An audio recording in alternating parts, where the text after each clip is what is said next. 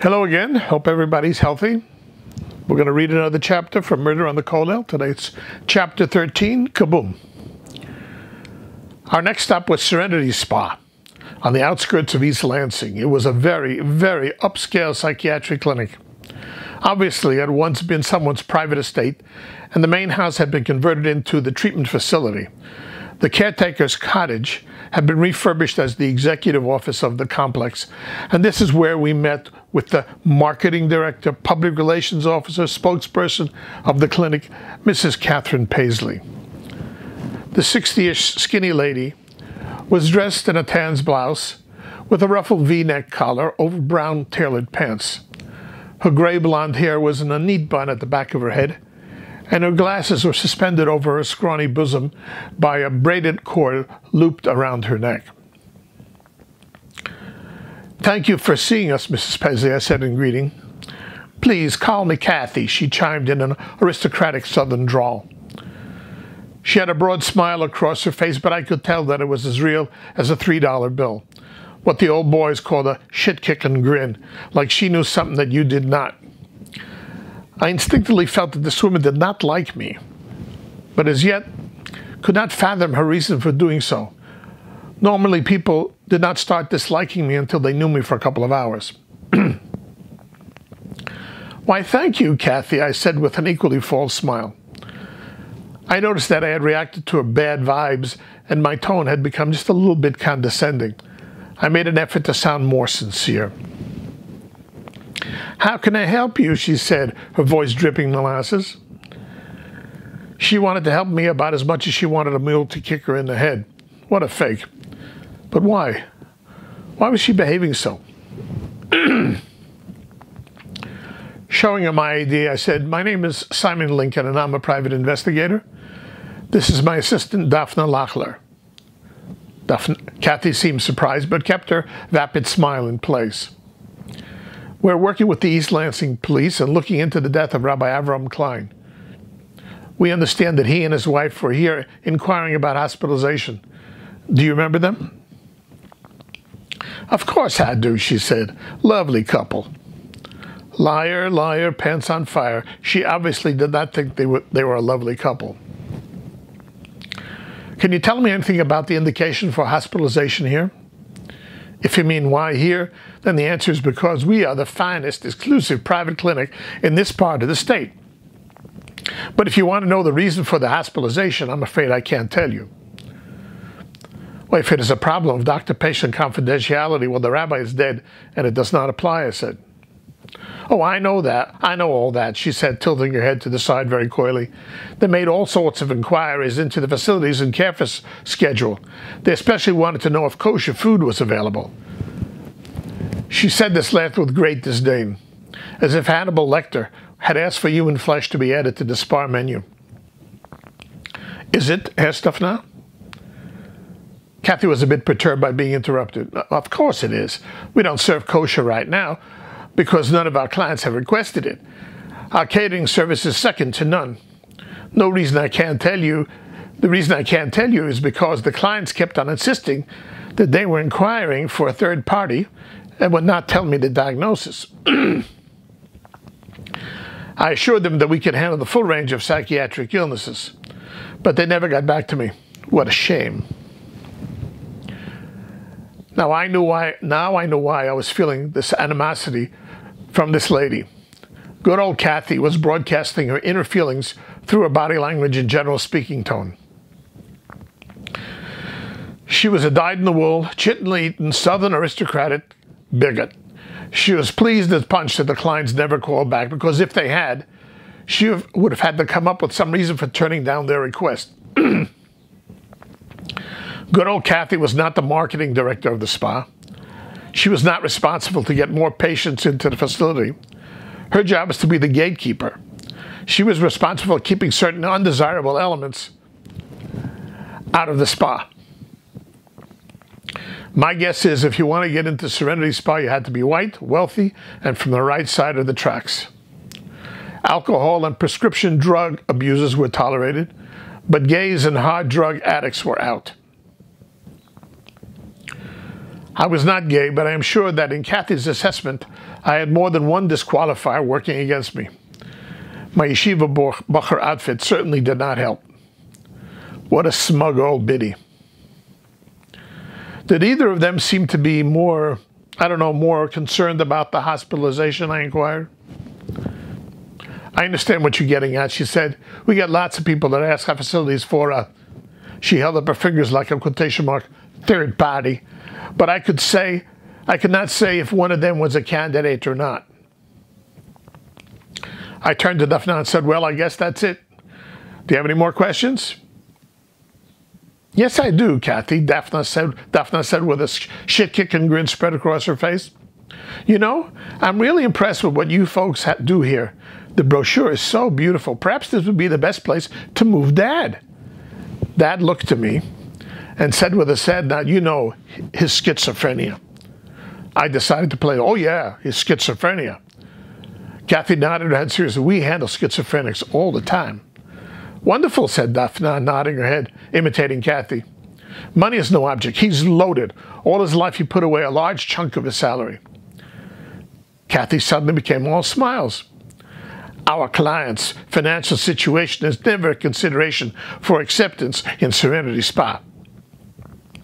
Was her nose getting longer or what? Just one little thing, added Daphna. Uh, we, he keeps kosher, uh, really kosher. As I said, we have caterers, said Kathy, her smile fading a bit. Good, good. And he'll need Rosh Hashanah and Yom Kippur prayer services. That should not be a problem, should it? Well, I don't know, stammered Kathy. We have a we, we have a non-denominational prayer room. Oh, that'll be fine, declared Daphna. His friends from the meatpacking plant like to come by after they after they cash their checks on Friday to drink beer and get drunk. That won't be a problem, will it? I'm afraid we cannot, began Mrs. Paisley. Well, I almost forgot, interjected Daphna. His black boyfriend likes to come and visit him occasionally. I assume your rooms are suitable for intimacy. Mrs. Paisley's whole orderly world was crumbling before her. I don't know about that, Daphna asked. Also, would it all be all right if we could have a Passover Seder in your non denominational prayer room? Just 40 or 50 people, close friends, really, you know. I don't know if we'll be able to, said Kathy shock. Are patients allowed to smoke grass? You know, Daphna stopped and gave the marketing manager a big conspiratory wink. For medicinal purposes? Are you referring to smoking marijuana? Here in Serenity Spa? asked Mrs. Paisley, having difficulty in forming her words. Why, of course, here. Dad loves a little pot every once in a while. He says it's good for his soul, said Daphna, waxing philosophic. I, I, I, I, Kathy was at a loss for words. No need for an answer right now, said Daphna as she stood, pulling out a business card from her purse. Here's my number. You let me know as soon as things are arranged, and I'm sure that Dad will love it here. Daphna pulled my jacket and led me across the towards the door. Remember, money is no object. At the threshold, I turned back. Thank you. You've been most helpful. Daphna added, When you get things arranged, give us a call. We'll move Dad in the very next day. Mrs. D Paisley sat dumbfounded at her desk. Why did you do that? I asked Daphna as we walked towards my car. Do what? She asked in mock innocence. Well, make up that business about your dad. She nearly had a heart attack. The old hag was a big phony. Did you hear what she said? The finest, exclusive private clinic, asked Daphne, imitating Paisley in a commendable southern drawl.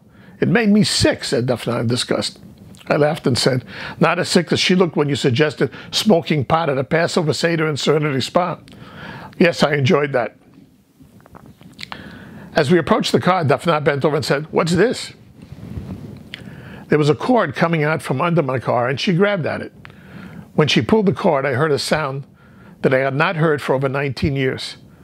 Luckily, a sound that I had not forgotten. 19 years earlier, I did my Marine Corps boot camp in the San Diego Marine Recruit Depot. That was the most physically and mentally challenging period of my life. It was living hell, and Staff Sergeant Frank Pansky, my drill instructor, was my designated devil. His job was to take the 75 raw recruits of our platoon and at the end of 13 weeks turn out as many raw Marines as he could. Many fell by the wayside. I suppose he was no more vicious than any of the other drill instructors, except in one special area of training. It was common knowledge that years before, he was held responsible for an incident in which a live grenade was accidentally dropped during grenade practice. Three recruits died, and half a dozen were seriously injured. So Sergeant Pansky decided this was never going to happen ever again to any of his boys. To accomplish this, he always went around with three or four blue practice M67 grenades in his pockets. At any time, in any place, day or night, whenever he thought it appropriate, he would pull out a grenade, pull the pin, and then drop it on the floor. When we heard the sound of the spring mechanism pushing the spoon, that little lever at the side of the grenade out of the grenade casing, we knew we had four seconds to scream grenade and find cover. The practice grenade, grenades only went and let out a small cloud of smoke. But if you're not at least 15 feet away, Sergeant Pansky would dress you down so that you felt like you were one inch tall. He would scream in your ear telling you that you are now dead and buried because you were too, too big a dunce to act quick enough. That your folks were now getting a telegram from the Department of Defense letting them know you were dead because you've been stupid and lazy. Then he would find appropriate punishment details. We got so we could recognize the sound of the spoon flying off the grenade in our sleep. Thank you, Sergeant Pansky, because that was the sound I heard in front of Serenity Spa in Lansing. I heard that spoon fly off the grenade and reflexively shouted, Grenade! Daphna was next to me and I pushed her down into a drainage ditch at the side of the gravel lot. She landed flat on her stomach and I fell right on top of her. Then we heard a loud explosion and the breeze rained down for about three or four seconds. In my brain, I just repeated over and over, thank you, Sergeant Pansky, so, so that after a while I was saying, thank you, Sergeant Thanksky. After the loud boom, my ears were ringing and there was an eerie silence. Maybe there was just no sound in the area, or maybe my ears were not working yet. Eventually, I was able to hear the people coming out of the clinic yelling and screaming, curious about what had occurred.